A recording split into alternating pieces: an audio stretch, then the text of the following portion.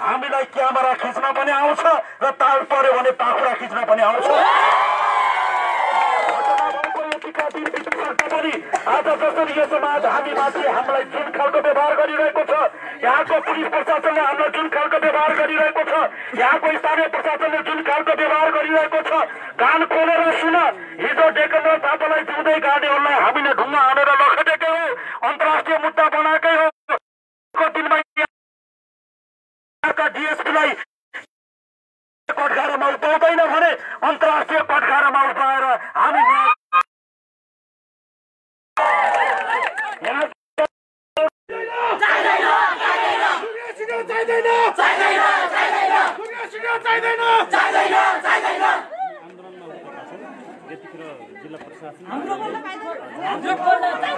झुट बोल्न पाइँदैन झुट बोल्न पाइँदैन झुट बोल्न पाइँदैन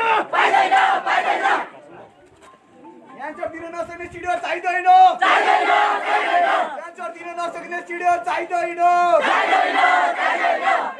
दिन नसक्ने चिडियो चाहिँदैन क्यान्सर दिन नसक्ने चिडियो चाहिँदैन चिडियोकारले मुर्दाबाद चिडियोकारले मुर्दाबाद मजाले भन्न सकेन नि हाम्रो साथीले निकालेको के हो क्या यस्तो यार हाम्रै केटाहरू यार ज्यानको बाछी लगाएर ल्याइरहेको छन्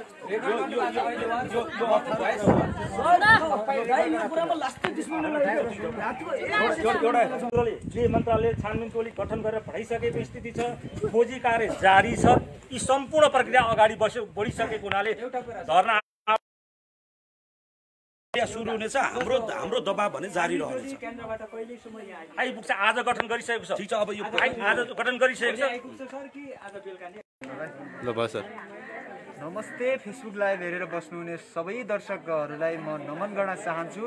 हिजोको जुन विषय थियो त्यो विषयको विषयमा विशेष रूपमा फलोअप गरिराखेका छौँ। हामीले अहिले जिल्ला प्रशासन कार्यालय जाजरकोटमा भने मन अनसन बसिरहेका छन्। यो हत्याको विषयमा माथिले के हेरेको छ र यसले अब हुने फिडब्याक के हो यसको विषयमा हामीले दलित अधिकारकर्मी अब एवं यस आन्दोलनका अगुवा व्यक्तित्व राष्ट्रिय दलित पत्रकार सङ्घका अध्यक्ष खगेन्द्र सुनारसँग कुरा गर्दैछौँ। कृपया यो भिडियो हेरेर सेयर गरेर अन्त्यसम्म हेरिदिनु होला। हामी अब जाँदैछौँ खगेन्द्रतर्फ।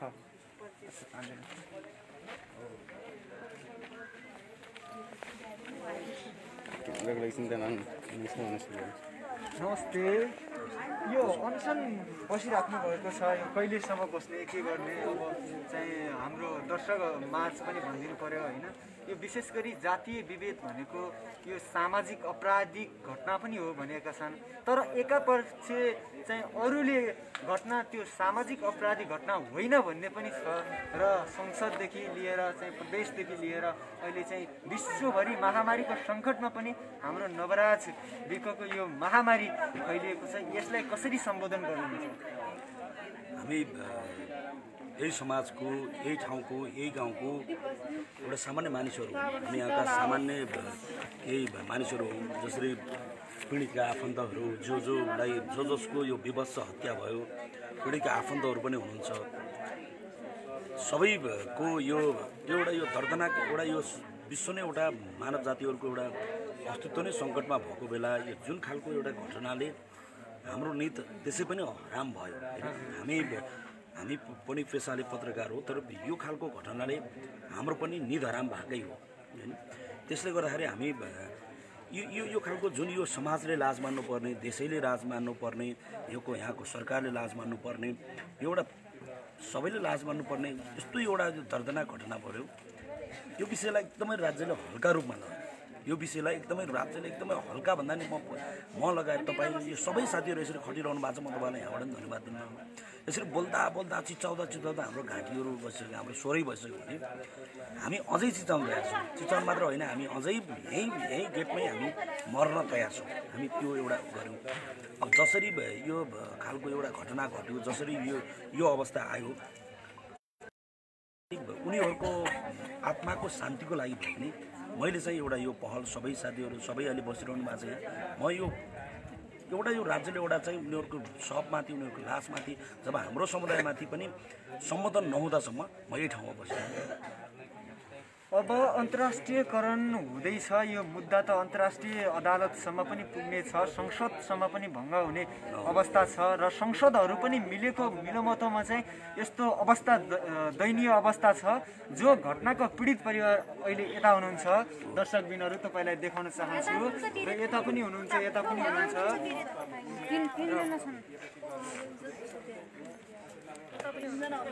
यस्तो दैन दैनिक एउटा दयनीय पीडामा परेर एउटा पीडा दै सुर्खेतदेखि राष्ट्रिय दलित पत्रकार सङ्घका अध्यक्ष खगेन्द्र सुनारसँग एउटा महत्त्वपूर्ण कुराकानी हुँदैछ। कृपया यो भिडियोलाई सबै सामु सेयर गरिदिनु होला र लाइक गरिदिनु होला। युट्युबका साथीहरूले पनि युट्युबमा पोस्ट गरिदिनु होला।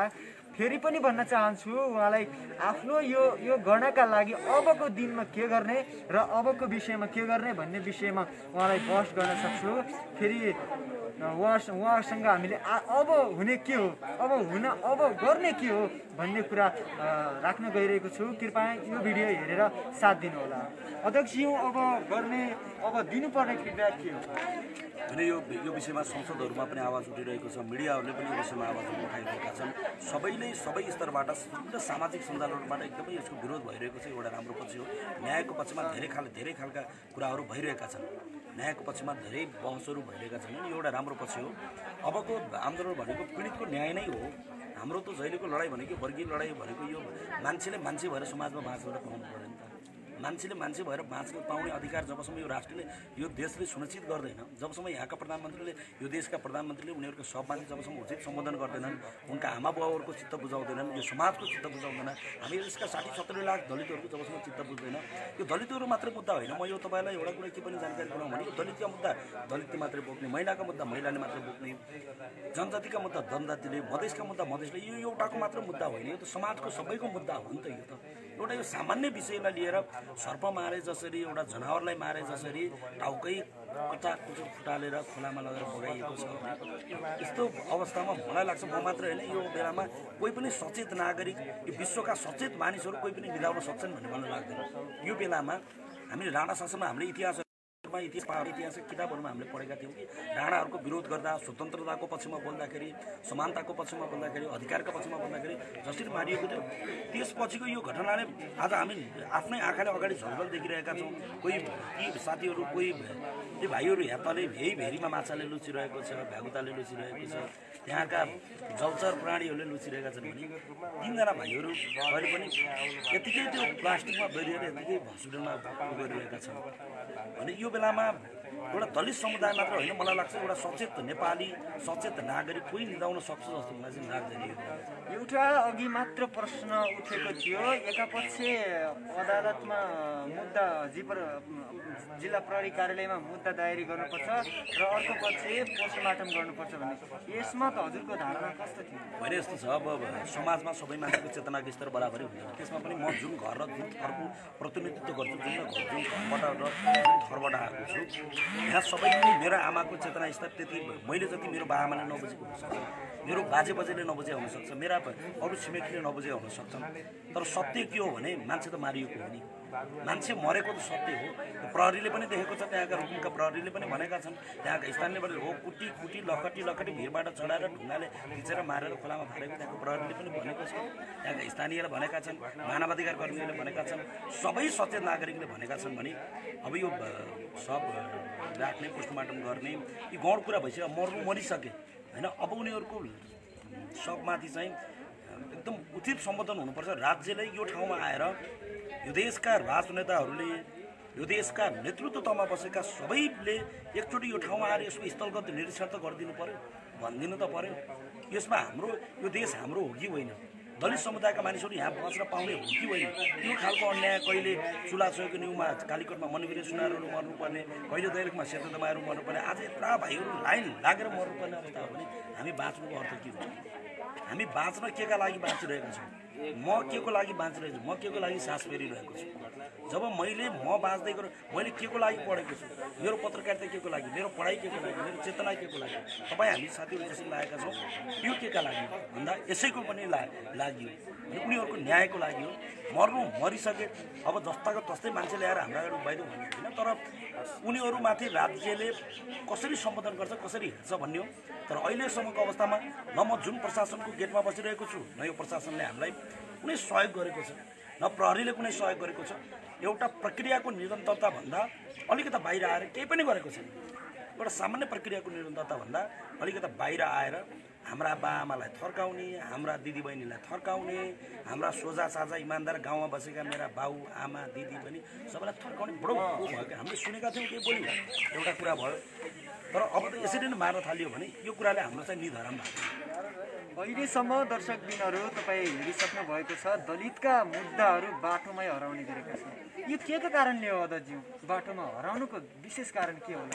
यो पनि अहिले चाहिँ मन अनसन गर्ने हलाना गर्ने फलाना गर्ने भोलिका दिनमा यो मुद्दा कहिले काहीँ बाटोमै बिलाउने त होइन आगो यो- यो- यो- चलाउने त होइन। एउटा कुरा के बुझ्नु पऱ्यो मलाई अघि नै पनि के भन्यो भने यो कुनै व्यक्तिको कसैको फलानाको छोरो मात्र मरेको होइन। फलानाको एउटा चाहिँ श्रीमान वा फलानाको दाइ भाइ मात्र मरेको होइन। यो सामाजिक मुद्दा हो समाजको मुद्दा हो। यो त सबैले बोल्नुपर्ने कुरा राज्यले बोल्नुपर्ने कुरा यो मुद्दा कहाँसम्म पुग्छ भन्ने होइन। तर राज्यले हेरचक्राइ गर्दै गयो भने हामी त तयार छौँ। हामी आमरण अनसन बस्छौँ यहाँबाट भएन। अदालतका ढोकाहरू प्रशासनिक ढोकाहरू देशका ढोकाहरू भएन। अन्तर्राष्ट्रिय ढोकाहरू पनि हामी ढकढकाएर उनीहरूलाई न्याय चाहिँ हामी दिलाउँछौँ यो कुरा चाहिँ सत्य अहिले विश्वभरि महामारीका रूपमा फैलिएको कोरोना भाइरसको कहर छुट्टै छ तर जातीय विभेदको अपराधिक घटनाको वृद्धिको क्रममा पनि छुट्टै छ। यसको विषयमा आज जाजरकोट जिल्ला म जिल्ला प्रशासन कार्यालय जाजरकोटको यो गेटमा जो हिजोको दिनमा घटना भएको थियो नवराज विकको त्यही घटनाको विषयमा चाहिँ विशेष छलफल हुँदैछ। यता अनसन बस्नु भएको छ। उहाँहरू आमाहरू हुनुहुन्छ। उता दिदीबहिनीहरू हुनुहुन्छ। उहाँहरूलाई पनि केही सोध्ने छु दर्शकबिनहरू यो भिडियो अन्त्यसम्म हेरिदिनु होला यो भिडियो अन्त्यसम्म हेरेर सबै नेपाली मनहरूमा पुर्याइदिनु होला नेपाली आत्माहरूमा पुर्याइदिनु होला